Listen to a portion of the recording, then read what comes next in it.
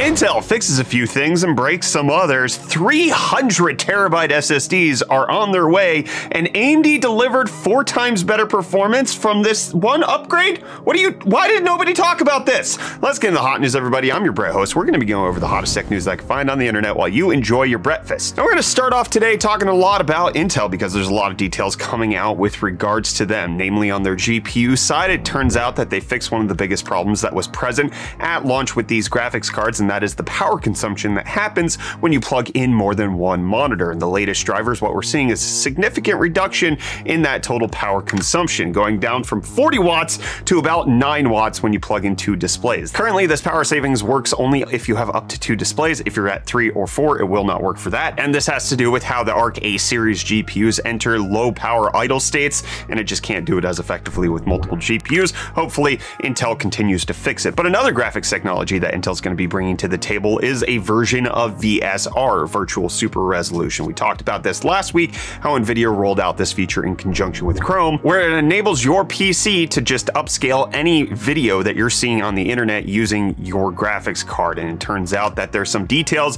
where this is actually baked into Intel's graphics cards already, whether it's on the CPU in the integrated version or in a dedicated GPU. It's just not enabled on the system as of yet, but some people have been able to tinker around and get it enabled, and just in the screenshots that they've provided, you can see a noticeable uplift in clarity with this VSR being turned on from Intel. Hopefully that gets delivered soon so that we don't have to buy 30 and 40 series GPUs and you could just use the integrated GPU that's in your 13400. That would be so much better. But we do have to issue a major correction to one of the things we talked about in Hot News last week. Jon Peddie research came out showing that AMD and Intel had the exact same market share for Q4 2022.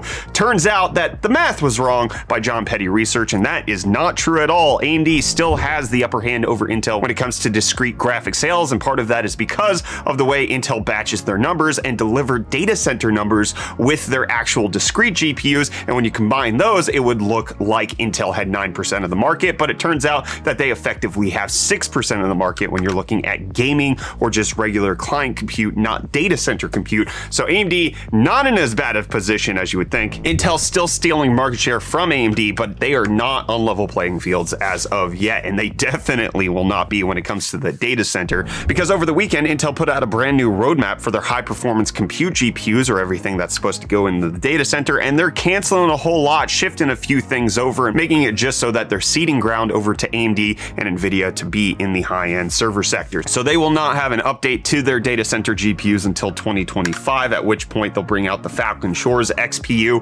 which is supposed to be a hybrid fusion of a CPU and a GPU in a data center environment. But this doesn't bode well for Intel on the GPU side. I mean even with what we were expecting them to come out with, they were not going to compete with AMD or Nvidia with AMD's MI Instinct GPUs or Nvidia's H100 just wasn't going to happen. We're also expecting Nvidia to potentially make an update to that at GTC later this month. So they are very far behind in data center. I think they have a much, much better chance in client or for just regular gaming people. I still think the rumors that Intel is going to shut down their gaming sector doesn't make a whole lot of sense. I could see them potentially pulling the plug on the data center with all of this information that's coming out, but I will never pull the plug on UFD deals, no matter how many times Reece doesn't show up. Yo, welcome back to UFD Deals, bringing you the hottest tech deals out on the internet. Happy Monday, guys. Hope you have a good start to your week. We've got a good start to the deals with the Nextorage M.2 NVMe SSD with the heatsink. You can pick up the one terabyte version for $87.99, which is $62 off, 41% off, and a great pickup for your PS5. And then secondly, we have this Acer Aspire 5 laptop featuring a 15.6 inch 1080p IPS display, AMD Ryzen 5 5625U, 8 gigs of DDR4 and a 512 gig NVMe SSD, which you can pick up for $479.99, which is $170 off, 26% off, and the lowest price in 30 days. But those are the deals. You can find these and more linked in the video description. But until next time, I'm gonna hand you off back to Brett for the rest of your hot news. Cheers. But here's a deal I can guarantee Reece did not put in UFD deals, whether it was there or not. You want savings on your graphics cards? Turns out that GTX 16 and RTX 30 series are going to be getting a price cut later this month, thanks to NVIDIA partners. And I want you to give me a little drum roll in your heart, thinking of how much is it going to be? How much will you save?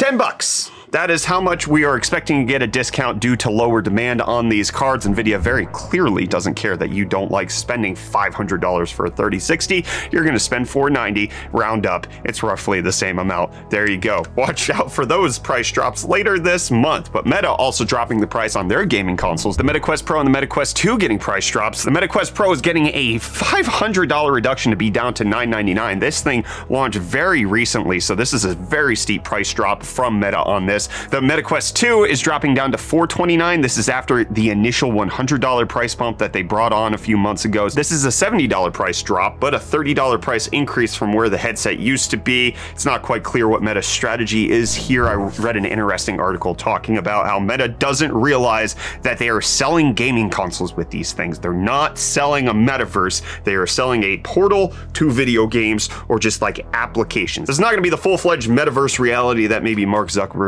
envisioning. What do you think? I want to hear from you about that down below in the comments. But in case you want to store all of your metaverse games, well, Pure Storage wants you to do it on their SSDs because they're anticipating by 2026 they're going to vastly outstrip hard drives and be at 300 terabytes on an NVMe drive. You can see here their roadmap for how much density or how much data they're going to be putting on a single drive. The blue line is regular hard drives, which has been beating out what you can get on an SSD, and they're expecting that pure DFM storage is going to just burst to 300 terabytes by 2026, with Pure Storage saying that the plan for us over the next couple of years is to take our hard drive competitive posture into a whole new space. Today, we're shipping 24 and 48 terabyte drives. You can expect a number of announcements from us at Accelerate Conference around larger and larger drive size with our stated ambition here to have 300 terabyte drive capabilities by or before 2026. Now this, if they're shipping out 24 and 48 terabyte SSDs, that's already in league with some of the largest hard drives that are out there, especially with companies like Toshiba saying that by 2026 they should have 40 terabyte hard drives, and a company like Seagate saying that they should have about 50 terabyte hard drives at that time point and 100 terabyte hard drives by 2030. SSDs look like they're going to be the way to go. Obviously, this doesn't mean that it's going to make it into your gaming system by 2026, maybe 2030. If you look up how much 24 terabyte and 48 terabyte SSDs cost, they're not reasonable. It's not going to be accessible for the everyman, but it's good to see that the technology is progressing and you can install so many versions of COD on this SSD. Or Doom Eternal if you want, which is now getting a ray tracing update on the Steam Deck of all things. In the latest beta that's coming out to the Steam Deck, they are enabling ray tracing on Doom Eternal. Turns out they're finally allowing the RDNA 2 GPU that's on the Steam Deck to stretch its legs, and at least here's a still image of ray tracing being enabled on Doom Eternal. It's not heavy ray tracing tracing. Not everything is set up to be fully reflected and shadows and everything. It's, it's a little ray tracing, and according to reports, it's about 35 FPS, which isn't terrible. Probably not as fast paced as you want Doom Eternal to go, but with reports that DXR is also in the pipeline for other video games, just not quite ready yet to come out to the Steam Deck sometime soon. But NVIDIA's RTX technology, where they ray trace or DLSS things, according to their official numbers, is roughly 400 different applications and games currently sitting at 300 198. So it does look like ray tracing's taking over the world. And if you want to know how ray tracing would work on an older system that has, you know, fewer PCI Express lanes, TechPowerUp has the greatest article for you because they went through and they detailed how does PCI Express scaling work on a 13900K with an RTX 4090. So essentially taking one of the fastest systems you can have and then trying to break it by making it so it has less data signal throughput. And what they found is that really on any modern system, you're going to be more than all right. So showing here uh, at the current PCI Express 4.0 speeds, because NVIDIA did not give us a PCI Express 5.0 SSD, you're at 100% performance. If you're on PCI Express 3.0 at full speed or half of 4.0, you're at 98% at full speed. If you go down to PCI Express 2.0 or a by 4 lane on 4.0 or by 8 on 3.0, you only lose 6%. It's only when you drop down to PCI Express 1.0 that you see any sort of significant performance loss, getting you down to 79% of what the 4090 and 13900K are capable of. That still beats out the 3090. You lose to the 30 3090 Ti and the 4070 Ti, but that's still really good. PCI Express doesn't really need to be on 5.0 at the moment, but it does show that there is some performance loss, but it doesn't look like you need to worry too much if you're trying to install a secondary card that might drop you down to eight lanes or anything like that. You're likely going to be very close to how fast the GPU can perform. But the new X3D chips from AMD don't look like they're going to be performing well on Linux at the current moment because with the launch of these X3D chips, in order to get them working properly on Windows, there's a whole bunch of crap that you need to do. Microsoft had to work behind the scenes in order to make it happen, but none of that exists on Linux. You don't have a Microsoft game bar, none of the special sauce that Microsoft and AMD have said that you need to enable. So after delving through benchmarks, Phoronix came out and